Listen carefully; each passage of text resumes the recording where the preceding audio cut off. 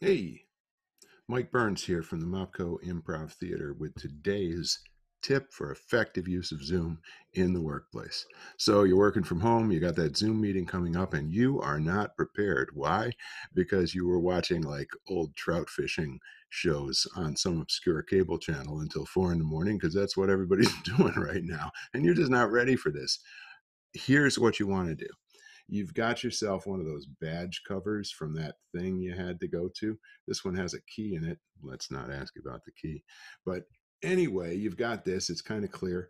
And uh, you've also got that ball of receipts that you were supposed to like scan.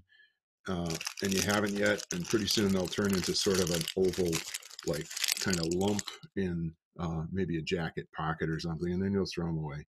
Okay, so those, before they get to that point, and this, and um, you attend the meeting and you're fine, everything's cool. I am not wearing pants, by the way. Um, and you get asked that question that you really don't have the answer to because you didn't do the work. Here's where both of these things come in. Hey, Jim, I'm so glad that you asked me that question because and I'm letting you see that I'm using this next to the mic.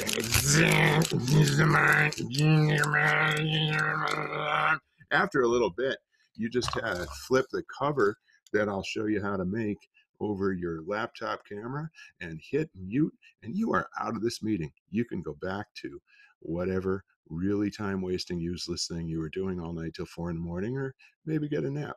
You'll get an email. It's cool. This has been Mike from the Mopco with today's tip on using Zoom effectively in the workplace. See you soon.